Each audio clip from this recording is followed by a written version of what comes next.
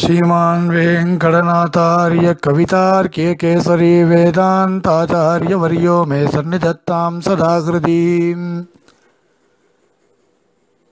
विशुद्धविज्ञानगणस्वरूपं विज्ञानविसराणबद्धदीक्षं दयानिधिं देहभृतां शरण्यं देवं मयग्रीवमहं प्रपद्ये अस्मद्गुरुपरम्पराय नम, सभाय नम।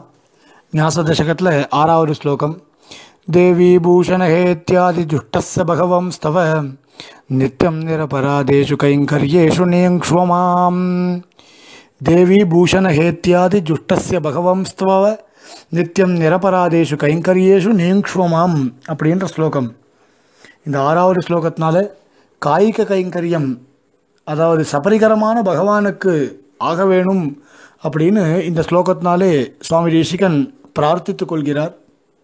தேவி பூஷண ஹேத்தியாதி துஷ்டசிய தேவி பிராட்டிமார்கள் என்ன பூஷண திருவணிக திருவணிகலன்கள் என்ன அதாவது திருவாபரணங்கள் என்ன ஹேதி திரு ஆயுதங்கள் என்ன ஆதி ஆதிபதத்தினாலே திருவணுக்கண் முதலானவைகள் என்ன இவைகளோடு ஜுஷ்டஸ்ய கூடினவரான தவ எம்பெருமானுடைய நிரபராதேஷு குற்றமற்றவைகளான கைங்கரியேஷு ஏவல் தேவைகளில் மாம் என்னை நித்தியம் எல்லா காலத்திலும் நீயும் சிவ விநியோகித்துக் கொள்ளுங்கள் அப்படின்னு எம்பெருமான பிரார்த்தித்துக் கொள்கிறார் இந்த ஸ்லோகத்தினால சுவாமி தேசிகன். இந்த ஸ்லோகத்தினால இவனுக்கு பகவான் போக்கியமாகலாம். மற்றவாளுடைய கைங்கரியம்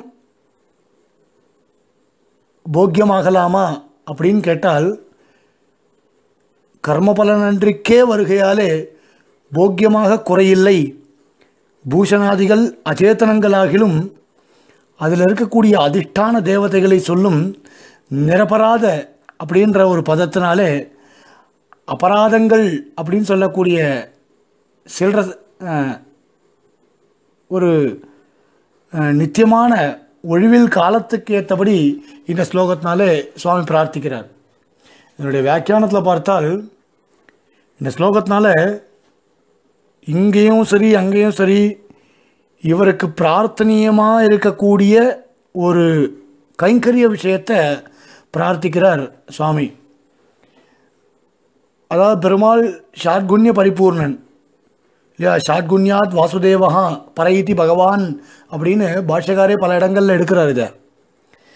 ஏன்னா பகவான் ஷாட்குண்ய பரிபூர்ணன். இல்லையா? ஞானசக்தி பலைஸ்வரிய வீரிய தேஜாம் சசேஷதா ஷாட்குன்யாத் வாசுதேவகான்னு சொல்கிறார் அப்போது பரிபூர்ணனான சுவாமி எம்பெருமானரே எம்பெருமானே தேவி பூஷண ஹேத்தியாதி ஜுஷ்டஸ்ய இல்லையா? பிராட்டிமார் திருவணிகலன்கள் திருவாயுதங்கள் போன்றவற்றினாலே அடையப்பெற்ற அப்பேற்பட்ட எம்பெருமானுடைய அபராதமில்லாத கைங்கரியங்களில் எப்பொழுதுமே என்னை ஏற்றுக்கொள்வீராகன்னு பிரார்த்திக்கிறார். இப்போ இந்த இடத்துல ஆதிசப்தம் ஒன்று வந்திருக்கு. ஆதி சப்தத்தினால குணங்கள் எம்பெருமானுடைய குணங்கள் அங்கே போற்றப்படுகிறது. சௌச்சீல்ய வாத்சல்யாதி குணங்கள் சொல்லப்படுறது. பரிஜன பரிச்சதங்கள் சொல்லப்படுறன. இந்த இந்த இடத்துல பார்த்தால் பூஷணம்னு இருக்குது ஹேத்தின்னு இருக்குது இதனாலலாம் பார்த்தால் சுவாமியுடைய பாசுரமே ஒன்று ஸ்பஷ்டமாக தோன்றது. புருடன் மணிவரமாக பொன்றா மூலப் பிரகிருதி மறுவாக மான் தண்டாக திருமருவன்வான் மறைவாக வாங்காரங்கள் சார்ந்தன் செங்காக மனந்திகிரியாக விருடீகங்கள் ஈரைந்தும் சரங்களாக விருபூத மாலை வனமாலையாக. அப்படின்னு சுவாமியே சாதித்த விஷயம் ஒரு பாசுரம் இந்த ஸ்லோகத்துக்கு ஏத்தாப்பாரியே அமைஞ்சிருக்கு. இல்லையா? பெருமா இந்த புராணங்கள்லேயும் வருது. எம்பெருமானுக்கு சர்வ ஜெகத்தும் ஆபரணமாக இருக்குது ஆயுதமாக இருக்குது சர்வ ஜெகத் சரீரகனான எம்பெருமானுடைய கைங்கரியத்துக்கு இதெல்லாம் பிரதிசம்பந்தியாக இருக்குன்றது நமக்கெல்லாம் தெரியும். இல்லையா? பகவத் கைங்கரியம் அப்படின்றது பாகவத கைங்கரிய பரியந்தம் வளர வேண்டும் அப்படின்றது தான் இந்த இடத்துல நிர்ணயம். சர்வதேச சர்வகால சர்வாவஸ்தோச்சித அசேஷ சேஷதைக்கு அதிரூப நித்திய கைங்கரியன்னு கத்தியத்தில் சுவாமி எம்பெருமானார் சாதித்தபடி இல்லையா? எனக்கே ஆச்செய்தல் எக்காலத்தும் அப்படின்னு ஆழ்வார் சாதித்தபடியும் ஒழிவில் காலம் எல்லாம் உடனாய் மன்னி வழுவிலாம் அடிமை செய்ய வேண்டும் அப்படின்னு ஆழ் ஆழ்வார் நம்மாழ்வார் சாதித்தபடியும் சுவாமி என்ன பண்ணுறார் தேசிகன் இந்த இடத்துல கைங்கரியேஷு மாயம் நீக்ஷ்வன்னு போட்டார். என்னுடைய காலம் மொத்தம் எம்பெருமானுடைய கைங்கரியத்தில் ஈடுபடுறதா இருக்கணுமே தவிர தனியாக இருக்கக்கூடாது. வேறு ஒரு விஷயத்துக்காக நான் பிரவர்த்திக்க கூடாது அப்படின்றத சுவாமி இந்த இடத்துல ஸ்பஷ்டமாகவே சாதிக்கிறார்.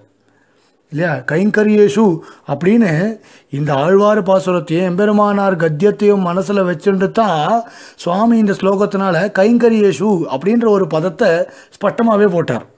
இல்லையா? இங்கே இருக்கக்கூடிய காலம் அபராதமற்ற கைங்கரியங்களில் இல்லையா? கைங்கரி எல்லா காலத்திலும் எல்லா கைங்கரியங்களிலும் சேரணும் அப்படின்னு இங்கே இருந்தபடியே எல்லா காலத்துக்கும் பெருமாள் சுவாமி தேசிகன் பெருமாளிடத்திலே பிரார்த்திக்கிறார். இந்த ஒரு திருஷ்டாந்தம் வியாக்கியானத்தில் எடுத்தா. திமி அப்படின்ற ஒரு மீனை விழுங்கிறதுனால தான் அதுக்கு திமிங்கலம்னு பேராம். இல்லை திமிங்கிலகிலம் என்னும் பெயர் பெற்ற மத்சியத்தையும் இல்லையா? திமிங்கில கிளமென்னும் பெருமீன் விழுங்குவது போலே அப்படின்னு சொன்னான் இப்போது சகல பாபம் இருக்குது சகல பாபத்தையும் போக்க வல்லக்கூடிய இல்லையா நிவிருத்தி தர்மம் எதுன்னு கேட்டால் பாகவத அபச்சாரம் இல்லையா? பாகவத அபச்சாரமாக அதாவது சகல பாப்பங்கள்லையும் போக்குறதுக்கு ஒரு தர்மம் இருக்குமோ இல்லையோ அந்த தர்மத்தையும் போக்கடிக்க வல்லது எதுன்னா பாகவத அபச்சாரம். அதனால் இப்போது தண்ணியில் இருக்கக்கூடிய ஜந்துக்களை கரையில் போட்டால் அது உ- உயிர் மடிந்து தான் போகும். அந்த உயிர் போகிற தருவாயில் எடுத்து தண்ணியில் போட்டால் எப்படி அது பொழைச்சிக்குமோ? இல்லையா? உயிர் போகிற தருவாயில் இருந்தாலும் கரையிலேருந்து தண்ணியில் போட்டால் எப்படி பொழைச்சிக்குமோ? அதுபோல் நாம் பண்ண பாப்பங்கள் சகலவித பாப்பங்களும் நம்ம வருத்தி எடுக்கிறப்போ நம்முடைய கஷ்ட தசையில் கூட பாகவத கைங்கரியம் பண்ணால் அந்த சகலவிதமான பாப்பங்களும் போய் நம்முடைய ஸ்ரேயஸானது மறுபடியும் மீண்டு வரும் அப்படின்னு சுவாமி இந்த ஸ்லோகத்தினால சாதிக்கிறார். இல்லையா? இது சங்கல்ப சூரியோதயத்தில் இந்த விஷயத்த மூணாவது ரங்கத்தில் ஸ்பஷ்டமாகவே சாதிச்சிருக்கார். இல்லையா? பாகவத அபச்சாரம் பண்ணால் பாகவத அந்த பாகவதனிடத்திலேயே க்ஷமாபணம் பண்ணிக்கணும்னு சொல்லிடு. பகவத அபச்சாரப்பட்டால் இல்லையா? பாகவத அபச்சாரத்தினால நரகத்துக்கே போக வேண்டிய கட்டாயம் இருந்தாலும் இல்லையா? அந்த பாகவதனிடத்தில் போய் நாம் அபத அபராத க்ஷமாபணம் பண்ணிட்டால் நாம் நரகத்துக்கு போகிற பாப்பத்தையும் பின்தள்ளிட்டு மறுபடியும் நமக்கு ஸ்ரேயஸ் உண்டாகி நாம் சகல சகலோபஜீவியமாக இருக்கக்கூடிய நல்ல ஸ்தானத்தை நாம் அடைவோம் அப்படின்னு சுவாமி சாதிக்கிறார். இப்போ பகவத் அபச்சாரத்திற்கு பாகவதர்களிடத்திலே க்ஷமாபணம் பண்ணிட்டால் பகவத அபச்சாரமானது போகும். ஆனால் பாகவத அபச்சாரம் பண்ணால் பாகவதர் இடத்துல தான் க்ஷமாபணம் பண்ணிக்கணுமோ தவிர பகவானிடத்துல போய் க்ஷமாபணம் பண்ணிக்க முடியாது.